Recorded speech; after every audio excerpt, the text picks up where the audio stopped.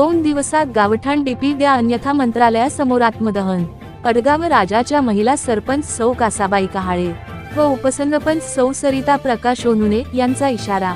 मातृतीर्थ सिंदखेड राजा तालुक्यातील अडगाव राजा येथील गावठाण डीपी.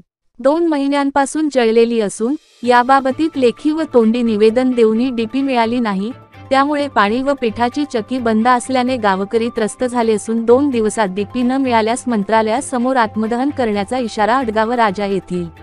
महिला सरपंच सौ कासाबाई मानसिक कहाळे उपसरपंच सरिता प्रकाश सुनुने यांनी तहसीलदार सिंदखेड राजा यांच्या मार्फत उपमुख्यमंत्री देवेंद्र फडणवीस यांच्याकडे एका निवेदनात केली आहे. आडगाव राजा येथे गेल्या दोन महिन्यांपासून गावठाण डीपी जळाली आहे.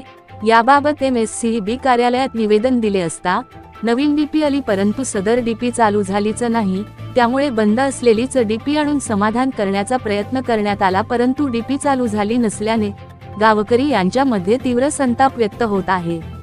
गावामध्ये पाणी पुरवठा बंद असून पिठाची चकी सुद्धा बंद असल्याने गावकरी त्रस्त झाले आहे. आधीच परतीच्या पावसाने कापूस व सोयाबीन पीक उद्ध्वस्त करून टाकले त्यामध्येच शेतकरी त्रस्त झाला आहे.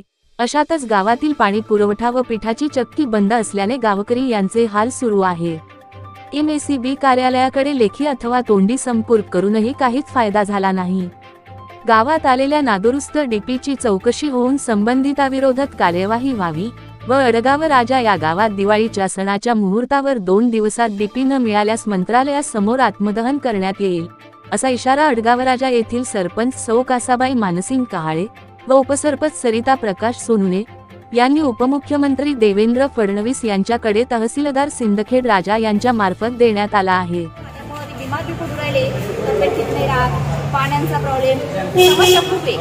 या समस्या जर केल्या नाही